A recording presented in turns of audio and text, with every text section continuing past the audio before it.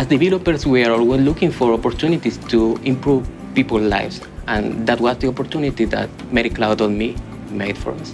MediCloud.me was a dream that we started with our team, conceived as a software that was going to help physicians manage their practices and have better outcomes for their patients. This project was a startup. BizSpark and the Microsoft team here in Guatemala helped us get started.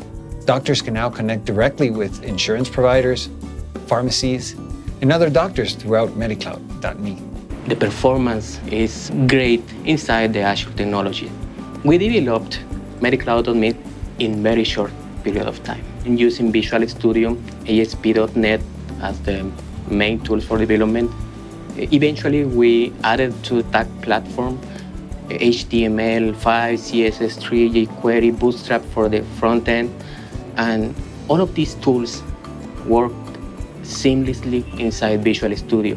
We use Team Foundation Server as our main repository for our code that allows us to collaborate and work in the same project even if we are not in the same office. Powered by Microsoft Azure under our name was really important for us. It gave the physicians the trust they needed go in and use our software.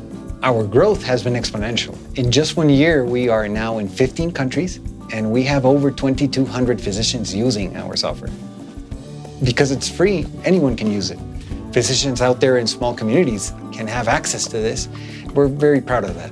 I'm really proud of being part of this project because it's an opportunity for us also to show our country, Guatemala, as a leader in technology, especially in these very new technologies as cloud-based.